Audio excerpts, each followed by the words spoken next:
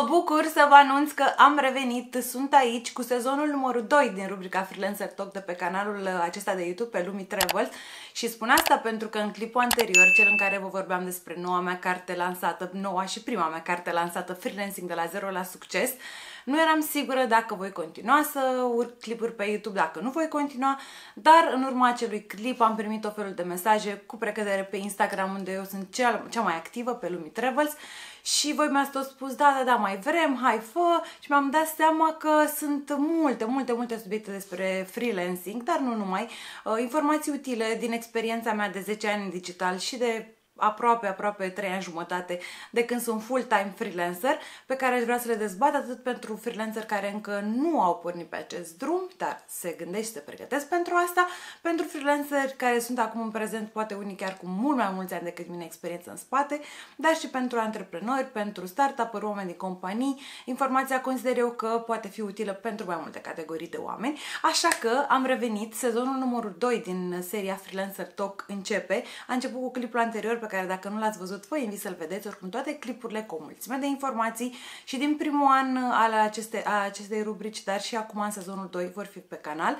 Uh, vreau să vă mai spun încă o dată despre cartea mea Freelancing de la Zero la Succes. V-am vorbit despre în detaliu, cu de la cuprins, la, nu știu, detalii uh, multiple în clipul anterior, dar o găsiți în continuare pe uh, printoambook.com și de acolo puteți comanda, ajunge la voi rapid, oriunde în România. Cam asta a fost așa mic intro în care vă spun că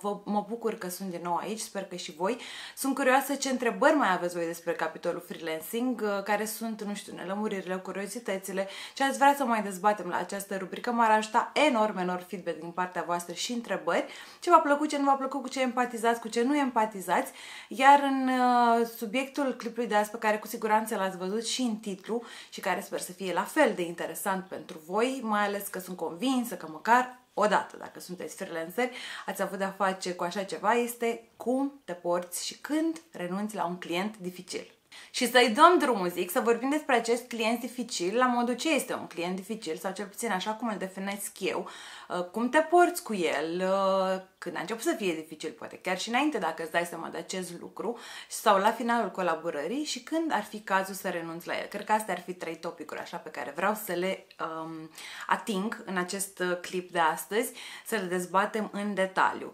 Dar până atunci aș vrea să fac un mic input, să-l pun aici, să-l las, pentru că în multe discuții pe care le am și multe întrebări pe care le-am primit de-a lungul timpului este despre acest client dificil. Cu toate acestea, cred că acești uh, clienți care sunt de coșmar sunt foarte, foarte, foarte puțini prin uh, tot ceea ce avem noi, din totalul clienților pe care îi avem. Majoritatea, cel puțin în cazul meu, 99% din clienții cu care am lucrat de când sunt freelancer de peste 3 ani de zile, sunt clienți minunați, cu care realmente îmi face plăcere să mă întâlnesc în col, să ne întâlnim uneori chiar la cafea, să ne întâlnim la prezentare, nu știu, să discutăm chiar și pe WhatsApp dacă sunt anumite informații uh, mai rapid de transmis. Sunt clienți minunați cu care am crescut, pe care mi-am dorit să-i ajut și pe care sper că i-am și ajutat să crească, cel puțin în partea digital pe care o fac eu uh, cărora le-am dedicat uh, timp, care sunt buni în portofoliu meu, cu care îmi este efectiv drag să muncesc. Dar un procent, cum spuneam, foarte, foarte mic sunt și acești clienți dificili. Tot din experiența mea personală, eu am cam unul pe an. Cam așa se întâmplă. Și o să vedem ce înseamnă uh, acest, uh, această denumire de dificil sau client de coșmar. Dar voiam să spun că, în general, clienții nu sunt dificili. Clienții, asta este un debate uh, dezbătut și între, nu știu, între agenții de publicitate și clienți. Clienții trebuie cumva educați, ca să spun așa, sau cumva mulați după modelul tău de business, dacă acesta există și dacă tu ești un om organizat și uh, profesionist, uh, clienții pot fi uneori mai înțelegători decât te aștepți. Au fost o groază de exemple pe care vi le pot da, în care am crezut că o să iasă mai rău decât s-a întâmplat de fapt. Uh, Uh, clienții pot fi o sursă foarte, foarte bună de informații, pentru că tot ceea ce știi tu este limitat și atunci când vine un client care este, nu știu, antreprenor sau manager unei, manager unui departament dintr-o companie, s-ar putea să aibă mult, mult mai multe, infinit mai multe informații despre domeniul uh, în care activează decât ai tu până la acel moment și ai face bine și este chiar indicat să-l asculți, să-i pui întrebări, să explorezi împreună cu el. Și clienții în cele din urmă sunt cei care ne plătesc facturile și care ne dau uh, șansa. um, să trăim stilul de viață pe care l-am ales, acesta de a fi pe cont propriu, de a fi liber profesionist și atunci clienții sunt pentru noi, uh, cum să vă spun, mai mult decât mană cerească, sunt ceea ce ne dorim. Uh, noi nu, plec, nu putem pleca și noi, ar fi logic să plecăm cu presupoziția că va fi un client dificil, că va fi complicat. Uh, cred că ar trebui să plecăm din start de ambele părți că vorbim de o colaborare în care încercăm să ne ajutăm reciproc, în care ne dorim să creștem reciproc și în care vom face cel mai bun lucru din ambele părți. Acel puțin asta este abordarea și structura pe care eu mi-o doresc să lucrez cu un client pentru mine este o plăcere de fiecare dată când semnez un client nou, este o nouă provocare. Eu simt dintr-o dată entuziasm să cercetez domeniul uh, să mă uit la trendurile în, do- în materia în care el lucrează, să văd datele firmei, să încep cu audit. O întreagă explorare pe acel client care mă bucură enorm, cel puțin așa se întâmplă în cazul meu. Acum sigur că depinde de amploarea clientului, dacă te ocupi de cam tot ce are el nevoie, cel puțin în partea mea digitală am clienți care am început de la strategie și ne ocupăm la implementare tot ce înseamnă, nu știu, Facebook Ads, Google Ads, partea de conținut pentru blog și newslettere sau este un client, nu știu, poate punctual de o lună, două, trei are nevoie de tine sau poate un proiect foarte mic, nu știu să spunem, niște bannere pe care le solicită la un anumit moment dat. Dar, ca idee, cred că ar trebui să ne gândim de la început că un client este o bucurie, să-i mulțumim că a venit acolo și să știm și noi din când în când cum să îl fidelizăm, cum să-i demonstrăm că el este important pentru noi, fără însă, bineînțeles, fără însă a accepta, nu știu dacă sunt anumite derapaje, despre care o să vorbim imediat, ce, ce, ce ar putea însemna aceste derapaje, dar să păstrăm o relație, nu știu dacă neapărat amicală, dar o relație profe- profesională foarte bună, caldă, deschisă, pentru că și pentru client, credeți-mă, din toată experiența mea, dar și pentru noi ca freelanceri, este esențială empatia dintre cele două părți. Degeaba ești tu cel mai bun, nu știu, copywriter și clientul cu cel mai mare buget din piață, dacă între voi nu există înțelegere sau nu sunteți în același film sau efectiv pur și simplu nu sunteți în aceeași energie, nu vă place unul de celălalt, uh, Um, atunci o să fie doar un chin și o să vă chinuiți să lucrați împreună și nu cred că este cazul să se întâmple acest lucru. Dar, uh, în mare, clienții sunt 99%, uh, cum spuneam, cel puțin în cazul și în experiența mea, sunt niște clienți minunați, iar cei dificili trebuie reduși din timp ca atare sau, mă rog, poți să încerci niște pași, dar eliminați din ecosistemul tău pentru că îți vor lua din energie, îți vor lua din timp, uh, o să ajungi să te stresezi și se întâmplă mult mai multe lucruri până să vorbim, nu știu, de reputație ulterioară, dacă te spunem că se termină foarte, foarte prost. Ceea ce, desigur, nu este indicat. Ok, ce este un client dificil? Pentru mine, am găsit așa patru categorii mari de-a lungul timpului. Și din uh, experiența mea și din ce am vorbit cu ceilalți și din tot felul de plângeri pe care le văd în grupuri pentru freelancer sau pentru antreprenori, uh, dar și în experiența din uh, agenție, pot spune că sunt patru categorii mari și late care, dacă ar fi să fiu sincer, ar trebui evitați din start dar hai să spunem că ai nevoie, nu știu, de bani în perioada aia sau este un client cu nume mai uh, răsunător sau pur și simplu ai fost de bună încredere și ai crezut că ție nu ți se poate întâmpla. Cam acestea cred că ar fi categorie, nu, categoriile. Numărul 1. Numărul 1 sunt clienții rău platnici. Recunosc că eu am avut un singur caz în trei ani jumătate de freelancing. Clienții răuplatnici um, se poate întâmpla odată să întârzie factura, se poate întâmpla și a doua oară să întârzie factura, dar cred că deja la a treia oară ar trebui să îți pui uh, un semn de întrebare și să vezi ce poți face pentru ori a înceta această situație, ori pentru a înceta colaborarea cu clientul.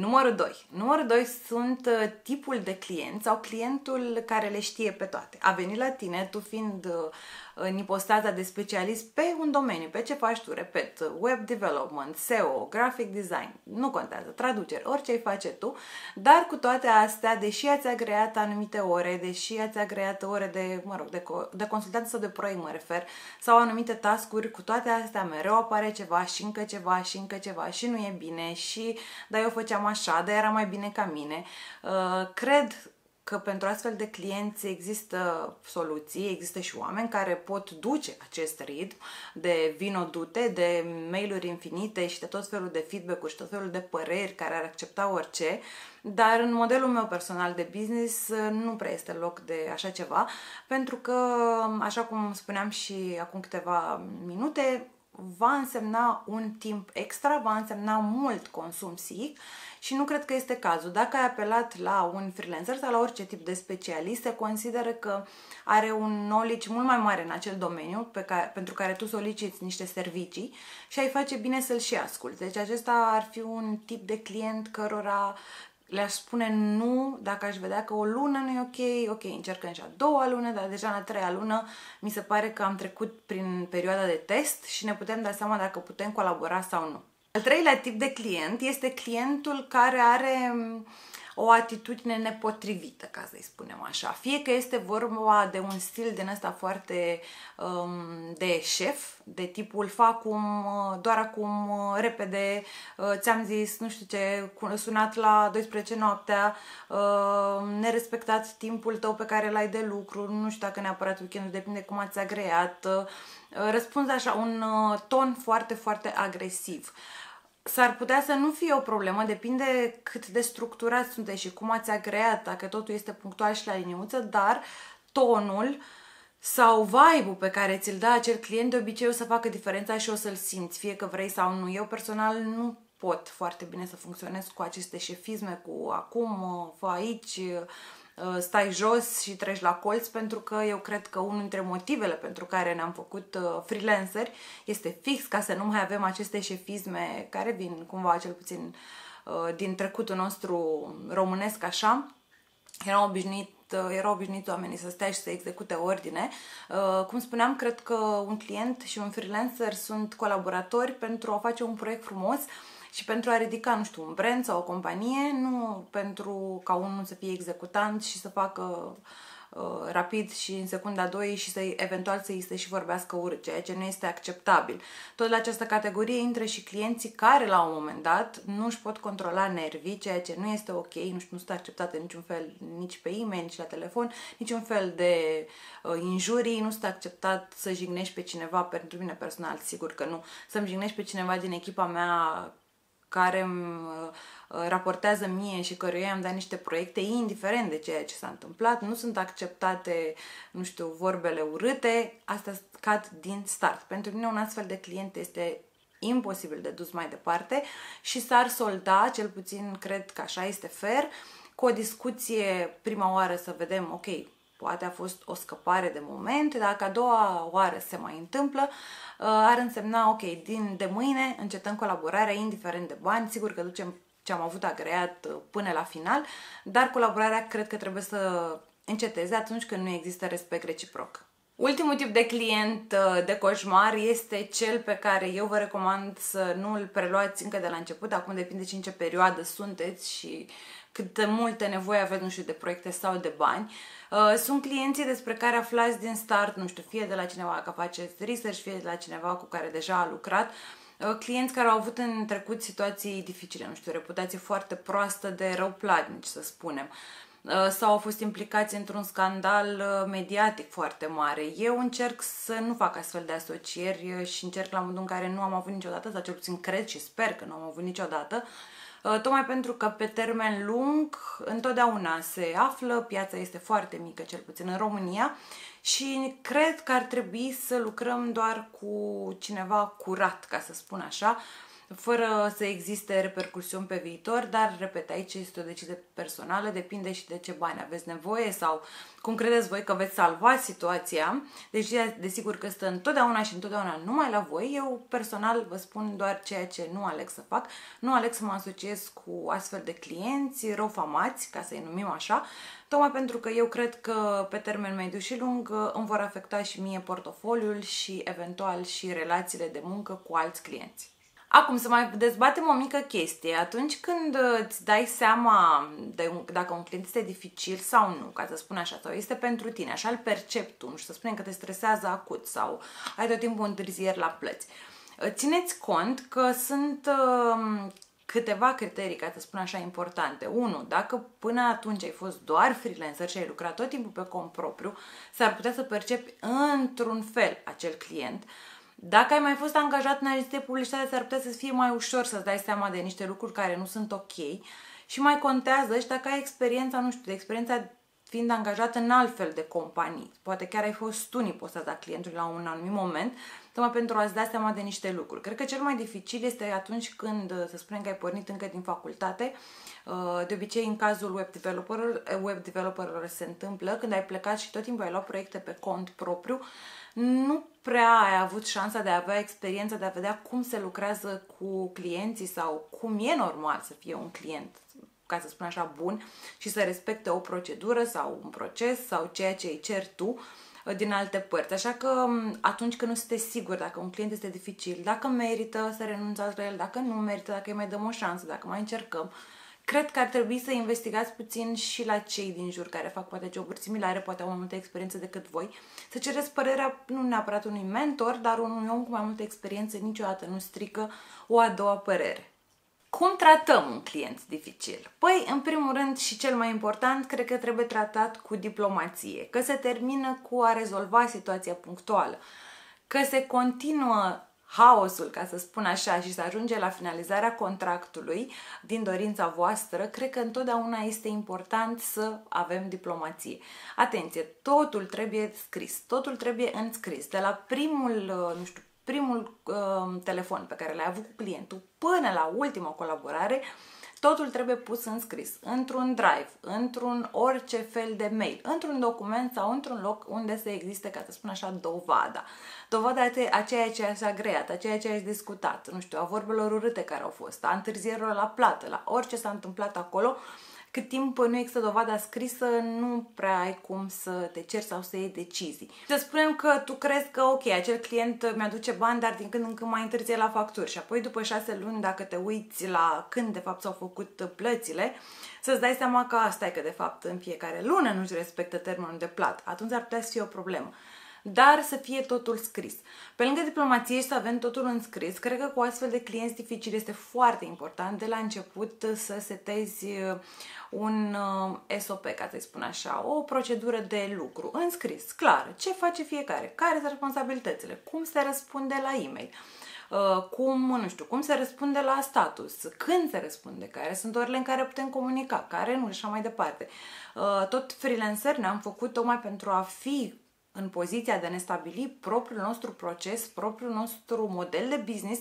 așa că așa cum un client își dorește anumite lucruri și noi ne dorim anumite lucruri și totul trebuie să se întâmple la mijloc, să existe uh, și empatie, dar și înțelegere de ambele părți, tocmai pentru ca proiectul să iasă bine. Așa că este importantă această procedură, această documentare, ca să nu fim în ipostata în care, în care unul dintre noi pare că n-a știut, ceea ce, uh, lucrând uh, cu mulți clienți de-a lungul anilor, eu personal am optimizat acest proces pentru că mi-am dat seama că este chiar reală faza asta. Lucruri pe care eu, mie mi se păreau firești și mi se părea că n-ai cum să nu știi așa ceva, cealaltă parte nu era atât de la curent cu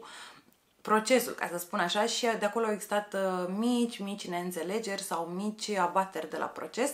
dar se rezolvă în timp, iar uh, tocmai lucrând sau având șansa, ca să-i spun așa, șansa unui client dificil, eu nu cred că ar trebui să o considerăm ca, vai, capătul lumii, uh, nu mai îmi place jobul meu, nu mai vreau să fiu freelancer, e prea greu. Nu, din contră, dintr-un client dificil pe care l-ai chiar și o dată pe an, e posibil să înveți mult mai mult decât înveți de la restul clienților, tocmai pentru că este șansa ta de a-ți redefini modul de a scrie mail-uri, de a-ți redefini niște procese, de a te reuita la contractele pe care le semnezi cu clienții de a te gândi, nu știu, poate sistemul tău de facturare are nevoie de îmbunătățiri, poate modul în care comunici cu clientul sau cu echipa ta sau cu clientul lui. Este o oportunitate, tocmai uh, un eșec din acesta, ca să-l numim așa, este o oportunitate de îmbunătățire fantastică, așa că nu cred că este o problemă. Totul tratat, cum spuneam, cu diplomație, vorbit foarte frumos, foarte calm, pentru că dacă să spunem că ai trecut uh, prin toate aceste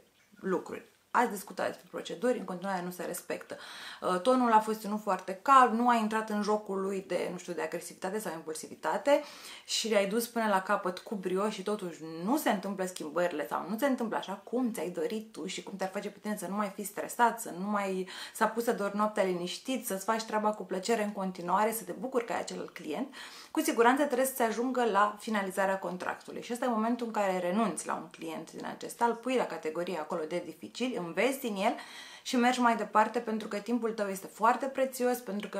atunci când renunți la un client dificil e posibil să vină un altul care se potrivește pe tine și cu care poți face niște lucruri minunate mai departe. Dar, atenție, la final, ceea ce pot să recomand atunci când se încheie o colaborare cu acest client de coșmar, este pe lângă a lăsa loc de bună ziua, ceea ce cred că e de la sine înțeles și nu a terminat cu certuri, cu injurii, cu amenințări, nici într-un caz, este chiar să rogi să-ți dea și el feedback, să vezi și cum, care a fost partea lui și chiar să-i dai și tu feedback. Acum că el va fi dispus să-l asculte, să-l înțeleagă, că se va enerva, asta e problema lui care ține de el. Dar tu ceea ce îți dă, nu o lua la primul impuls așa foarte copilărește, ci stai puțin și analizează și vezi că sunt și alte părți sau, mă rog, alți oameni care nu te văd minunat tot timpul și de la care nu vei primi tot timpul laude, pentru că nu suntem uh, nici făcuți pentru toată lumea, nici potriviți cu toată lumea, este normal acest lucru, dar e posibil să avem de învățat din, de la cei care, nu știu, cu care nu a mers bine colaborarea sau care efectiv nu ne plac, cu care nu empatizăm. Uh, lăsând loc de bună ziua și primind și feedback, cred că mai trebuie menționat și mi se pare uh, extrem de important, un mas și zic asta pentru că știu cazuri în care nu s-a întâmplat, ba din contră s-a terminat cu hai la revedere, uh, blocare de număr și așa mai departe. Cred că trebuie, indiferent în ce moment decizi că acel client, gata, până aici a fost, s-a încheiat colaborarea, să duci ceea ce s-a creat în luna respectivă, nu știu, sau pe proiectul respectiv, să duci până la capăt, așa strângând din dinți, dar tu să fii cel serios, cel care demonstrează că are experiență, că știe să um, se ocupe de astfel de situații complicate, să duci treaba până la capăt, să închei frumos cu un mulțumesc pentru colaborare, asta a fost, eventual aștept să-mi plătești factura finală, desigur, Uh, și îți doresc să-ți găsești echipa sau persoana potrivită pentru proiectul tău. Cel puțin asta este abordarea mea. Cum vă spuneam, acel feedback de final de, când am avut situații nu prea l-am primit, dar eu l-am dat, măcar, măcar am spus părerea și dacă l-ați ținut cont este partea a doua, dar încercați să nu terminați o colaborare indiferent cât de rău a fost acel client, cât de complicat a fost, cât m-ați ajuns și poate ați ajuns la insomnii sau la exasperare cu el, încercați să vă păstrați nota de diplomație, de profesionalism uh, și să um, vă spuneți la revedere cu o strângere de mână și cu zâmbetul pe buze. Sper că acest clip de azi v-a ajutat măcar un pic așa să înțelegeți mai bine ce este un client dificil, cum ne purtăm cu el, uh, dar și ce facem după ce pierdem un client dificil și dacă ar fi să vă spun ceva, să rețineți la final, să accentuez, este că un client dificil este o șansă minunată de a învăța, de a updata voi procese, uh, stil de lucru, stil de a scrie mail-uri, stilul de a comunica, toate astea, vouă și poate echipei voastre pe care o aveți sau pe care plănuiți să o aveți. Uh, așa că nu ar trebui să facem, uh, nu știu, o dramă, o catastrofă dintr-un client din ăsta de coșmar, pentru că peste ani experiența ne va, uh, ne va demonstra că a fost bun și că, uite, dacă n-ar fi fost și clienți dificili, poate că nu era nici clipul de azi și nu vorbeam nici noi acum. Sunt foarte, foarte curioasă să-mi spuneți alte tipuri de clienți dificili sau ce probleme ați întâlnit voi cu uh, Uh, astfel de persoane, ce s-a întâmplat acolo, cum, care a fost uh, rezolvarea în cazul vostru. Să-mi spuneți și dacă v-a plăcut clipul de asta sau nu, sau ce, cu ce ați rămas din el și desigur m-ar bucura enorm să vă abonați la canal aici la Lumi Travels. Ne vedem și pe Instagram, ne vedem pe grupul de Facebook unde sunt uh, uh, mai mulți freelanceri care se numește tot Freelancer Talk ca și rubrica de față. Nu uitați de carticică, de cartea Freelancing de la 0 la succes pe care o găsiți pe printoambook.com pe care o puteți achiziționa și unde veți afla o mulțime de detalii de la primii pași în freelancing până la freelancer antreprenor și chiar uh, despre capitolul de nomad digital. Și să-mi lăsați și sugestii de clipuri pe care vreți să le dezbatem aici pe viitor, de subiecte pentru clipuri, de fapt. Vă super, super mulțumesc că, că ați fost aici uh, alături de mine, că v-ați uitat. Sper că ați ajuns până la acest moment și ne vedem cât de curând data viitoare, pentru că, așa cum spuneam, a început sezonul 2 din Freelancer Talk. Yeah!